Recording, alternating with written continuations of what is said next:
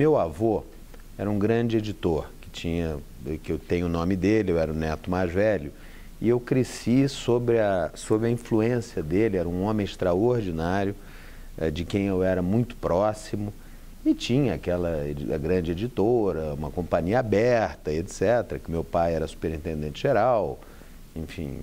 É, e o fato é, e eu me via para frente, obviamente, sucedendo meu pai, tocando editora, sendo editor, tinha o nome do meu avô, quer dizer, era uma coisa meio natural.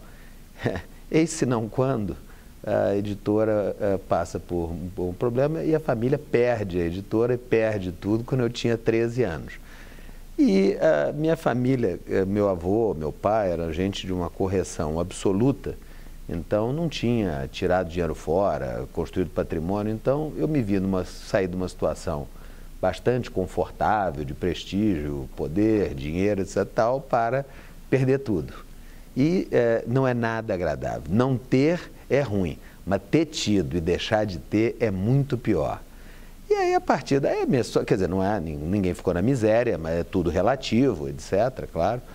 E, e meu, uh, meus avós maternos, é, meu avô materno era engenheiro e tinha uma firma de construção, uma situação muito boa, etc. E, e aí, a partir daí, a partir dos 13 anos, eu, enfim, botei na cabeça que eu queria ganhar dinheiro. Está tudo muito bom, tudo muito bonito. Durante muito tempo eu entreti um pouco, eu gosto muito de bichos, de animais e de aves, e não sei, entendi. Ah, vou fazer alguma coisa, eu olhava e dizia, o que, que eu vou fazer que me dá dinheiro nesse negócio? Ser veterinário? Né? Ou, enfim, biólogo? Aí esquece, né? Eu gosto de bicho, mas eu gosto mais de, é, gosto mais de dinheiro. E, e aí, naquele momento, uh, meu avô tinha uma companhia de construção, uma pequena companhia de construção de casa, meus tios tinham ido trabalhar com ele, e eu virei, minha avó, ah, mãe da minha mãe, me influenciando muito a seguir o caminho da engenharia. Eu era, sempre fui muito bom aluno, etc. E ele disse, ah, vou fazer engenharia, mais difícil, não sei o que, fui. Eh, e fui fazer engenharia na PUC. E tive a felicidade de, desde o primeiro ano uh, da faculdade fazer estágio nessa firma de construção. Fui trabalhar lá, meus tios me chamaram, fui trabalhar e passei por diversas áreas, etc.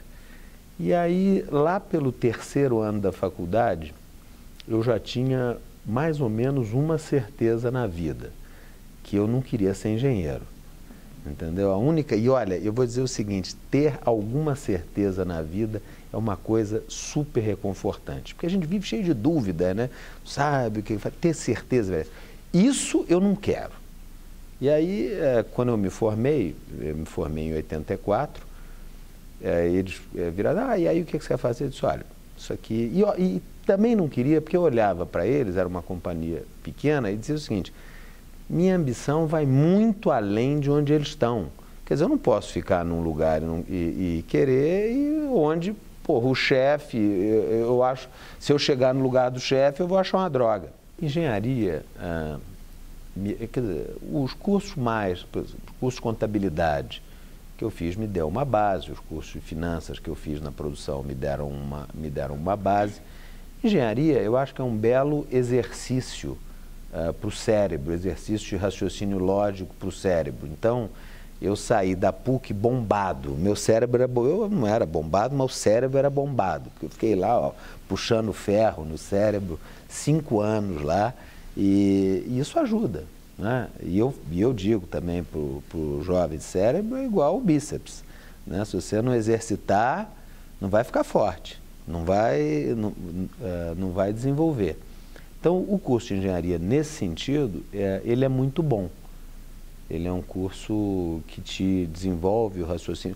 Se você, se você olhar os aspectos práticos do curso, muito pouca coisa eu usei.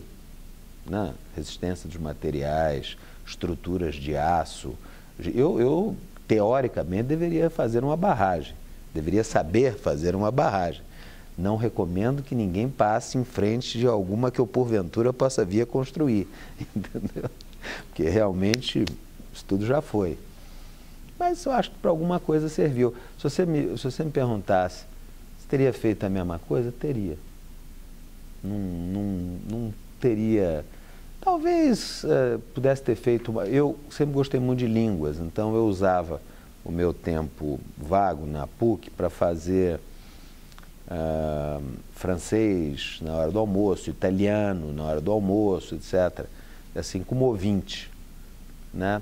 Uh, talvez devesse ter ido fazer uh, mais economia ou alguma coisa assim, talvez, mas, enfim, isso aí